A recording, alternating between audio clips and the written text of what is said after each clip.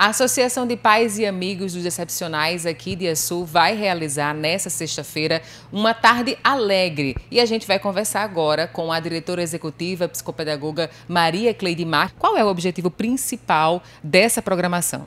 Bom dia a todos. É, desde já quero agradecer é, essa parceria que temos com vocês e quero dizer que essa Tarde Alegre é um, um dos eventos que a PAI promove para é, arrecadarmos fundos para a melhoria de nossa instituição. E essa tarde alegre vai acontecer, como você falou, na sexta-feira, dia 29, no Clube de Carne mais conhecido, onde nós estaremos abrindo é, essa tarde tanto para os apaianos quanto para a sociedade e a suense.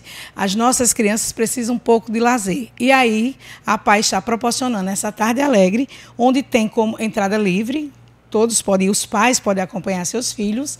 E lá nós estaremos é, patrocinando o quê? Não patrocinando, mas promovendo o quê? Tem os lanches que serão vendidos, tem os pula-pulas, tem os Homem-Aranhas que vai estar lá para alegrar a galera. Também temos o X-Box, que eles amam brincar. Então, assim, nós estamos promovendo para as crianças tanto é, uma parte de diversão, como também estamos proporcionando ao pai estar com essas crianças nesses momentos de, de alegria, porque a gente também tem um outro objetivo por trás disso. Além da arrecadação de fundos, conseguir tirar um pouco as crianças das, das telas e estar brincando como sempre eles fizeram, brincar. Então, a Tarde Alegre da Pai, nossa segunda Tarde Alegre, viu, gente? Que a primeira foi fantástica, estamos esperando que a segunda também seja com a participação de vocês. assistente social aqui da Associação Tereza Raquel conversa com a reportagem da nossa princesa também a respeito dessa tarde alegre que vai ser executada nessa sexta-feira. Ela vai falar um pouco mais a respeito disso e também nos dar os detalhes de como a comunidade pode participar e contribuir, né, com a, a PAI Açu. Desde já agradecer, né, a parceria que temos em conjunto com vocês e dizer é exemplificar aqui para vocês que a Associação de Pais e Amigos Excepcionais, na parte aqui de Açu, é instituição não governamental né, e filantrópica. Ela depende dessas doações, né, da contribuição da sociedade civil.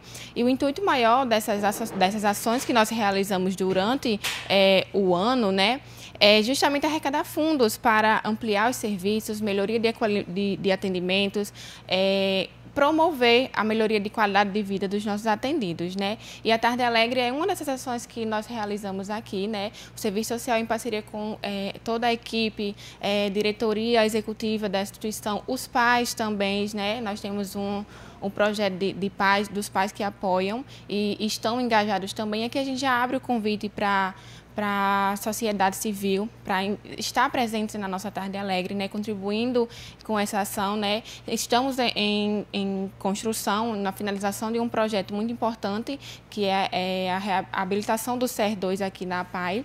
E com essa habilitação, nós iremos ampliar os serviços aqui, né, a quantidade de serviços e melhoria nos atendimentos da, do, do, que os nossos atendidos já têm aqui. Né? Então, nós convidamos a sociedade, os pais a se fazerem presente também, para engajados, apoiando nessa causa, né?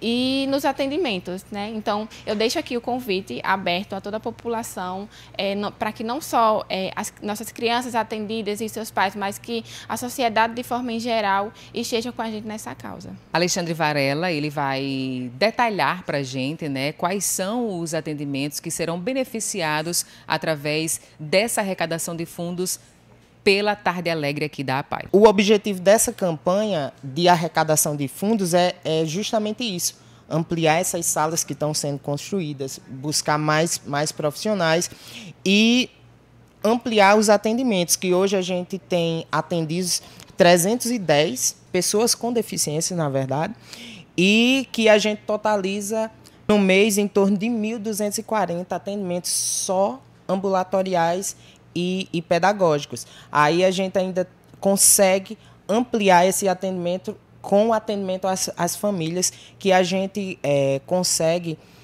um, um, atendimento de mais de 2 mil atendimentos é, semanais. Semanais que quando a gente vai contabilizar isso aí, dá bem mais de, de 10 mil atendimentos mensais.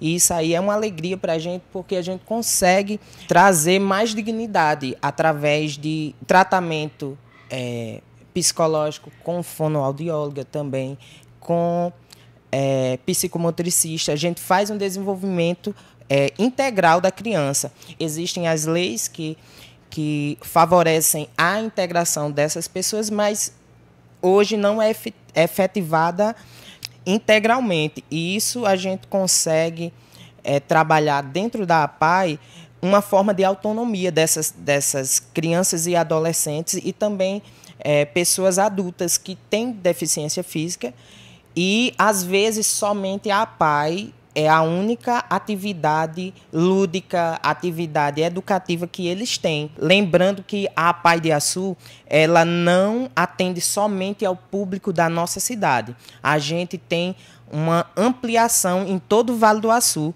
e isso mostra a força e a importância que a PAI tem na nossa cidade e região. A campanha Ampliando Horizontes, ela está ainda em ativa, certo? E precisando da, da ajuda de todos, de toda a sociedade açuense, certo? A campanha Horizonte, mais espaço, mais cuidado, mais oportunidades, você é, qualquer pessoa pode contribuir através do nosso Pix, certo? Que é o CNPJ da nossa instituição, que é o 02 257 568 mil ao contrário, 70.